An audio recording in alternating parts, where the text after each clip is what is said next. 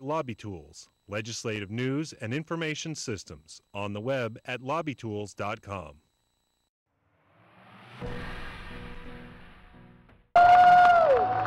Over the past month, Mitt Romney has made several campaign stops in Florida. Absent from the major GOP events, Governor Rick Scott. Democratic strategist Steve Schale says it's no coincidence. Rick Scott is the head of the Republican Party in Florida. He's got 39% job approval. I'm sure that's not what Mitt Romney wants. It is great to be back in Florida. A new survey of Florida voters shows President Barack Obama turning a six point deficit into a four point lead, forecasting a tight race with no room for mistakes.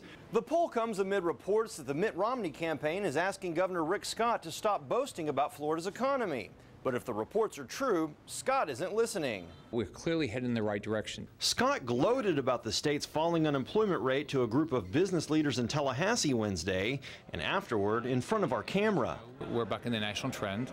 Uh, we've come down uh, 2.5% in the last 17 months. The Republican Party of Florida also continues to tout Florida's economic gains. We're seeing a lot of improvement here in our state, and that's thanks to the governor.